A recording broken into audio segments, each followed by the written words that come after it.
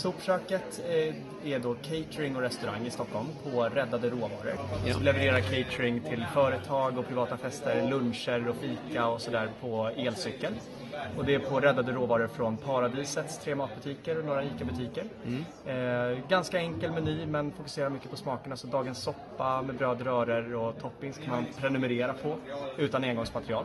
Och också äppelpaj och veganska smoothies och sådär. Mm.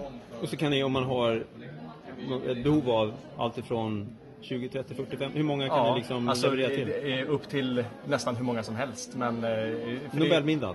Ja, eh, soppa till Nobelmiddag, det kan vi Ja, göra. kan göra. Ja.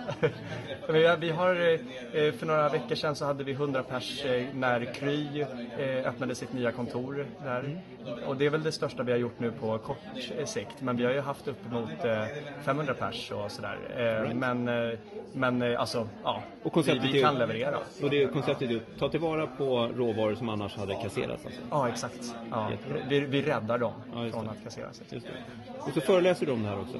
Ja, det, det är någonting jag börjat göra nu på sistone tid. Jag tycker det är jättekul. Föreläste lite om eh, hållbarhet och entreprenörskap på skolor. Eh, och om min resa med sopköket. Tycker det är bland det roligaste eh, som jag har gjort när jag har jobbat med sopköket. Så. Filip Lundin, Filip. Sopköket. Stämmer bra. Jättebra. Tack så mycket. Tack, hej.